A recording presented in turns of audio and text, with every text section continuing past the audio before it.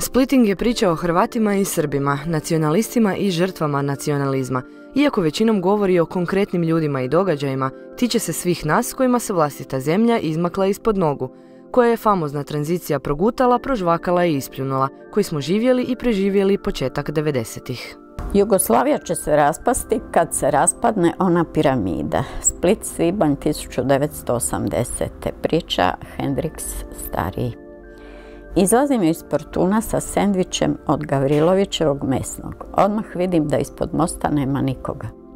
To nije pravi most, nego krov budućeg pothodnika od našeg nebodera do robne kuće Prima 3 i osnovne škole Veljko Vlahović, ali ga mi zovemo most. Tata kaže da će pothodnik biti gotov dok ja završim četvrti razred pa ću onda do škole ići ispod zemlje. To je tek za četiri godine, znači da sve do tad možemo igrati nogomet ispod mosta. Meni je to najbolje mjesto za nogomet u ulici jer tu možemo igrati i kad pada kiša, ali sad nema nikoga pa odlazim prema trećem ulazu kod samoposluge, čujem kad netko tamo udara balunom u zid.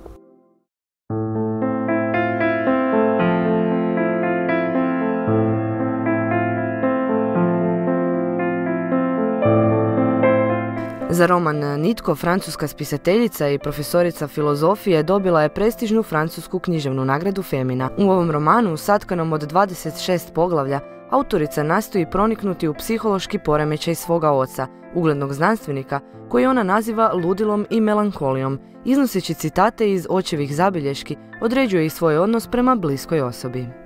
U kolovozu 1999. kada su predavanja ispita ispiti bili završili, izdiktirah dva pristupna pisma službi za kontrašpionažu i direkciji za nadzor teritorija. Popih mnogo vina jedne večeri i otiđoh u komisarijat predati svoja dva pisma. Bio je to pogrešan korak. Proveo sam noć u postaji i tako dalje i tako dalje. A smijeh dragoga Boga dopro je do mene kada mi je komesar u lijepoj odori rekao Smiješno je kada bivši student uhiti svog profesora. I mislim tad na svetog Tomu Akvinskog za kojeg se pijanac izlaže nesmotrenim opasnostima i nailazi samo na nevolje, dok trezan čovjek promišlja i ako djeluje iznenađen je lakoćom stvari.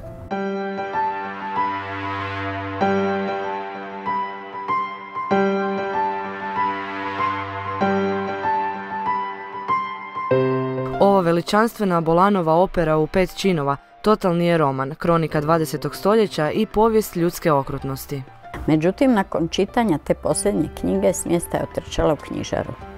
U četvrtastom dvorištu padala je kiša. Četvrtasto nebo izgledalo je poput iscerenog lica nekog robota ili boga sačinjena na našu sliku i priliku, na travi u parku kapi kiše klizile su prema dolje, ali jednako bi bilo i da su klizile prema gore.